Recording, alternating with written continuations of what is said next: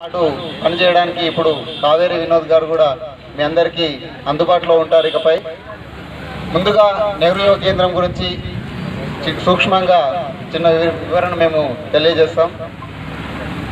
స్వాతంత్రం వచ్చిన ఇరవై సంవత్సరాల తర్వాత రజతోత్సవ వేడుకల్లో పంతొమ్మిది వందల డెబ్బై రెండులో నెహ్రూ గారి జయంతి సందర్భంగా జాతీయ యువ సలహా మండలి కోరిక మేరకు సూచన మేరకు నెహ్రూ యువ కేంద్రం స్థాపించడం జరిగింది.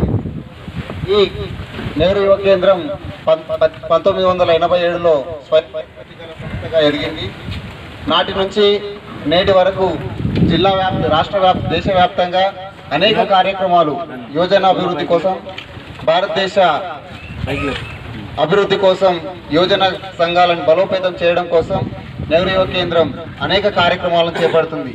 మొదట్లో నూట యాభై జిల్లాల్లో దేశవ్యాప్తంగా ప్రారంభమై నేడు భారతదేశంలో ఉన్నటువంటి అన్ని జిల్లాల్లో నెహ్రూ యువ కేంద్రం విస్తరించి అనేక కార్యక్రమాలను చేపట్టడం విశేషం. అందులో భాగంగా ఈరోజు block level neighbourhood youth parliament అనే కార్యక్రమం యొక్క ముఖ్య ఉద్దేశం మీ యొక్క రెండు మండలాల్లో ఉన్నటువంటి యోజన సమస్యలను స్థానిక ప్రజా ప్రజాప్రతినిధుల సమక్షంలో అవగాహన మరియు సమీక్ష ఏర్పాటు చేసుకోవడం అలాగే నెహ్రూ యువ కేంద్రం చేస్తున్నటువంటి కార్యక్రమాలందరినీ మీ అందరినీ భాగస్వామ్యం చేసుకోవడం కోసం ఈ కార్యక్రమం ఏర్పాటు చేసుకోవడం జరిగింది.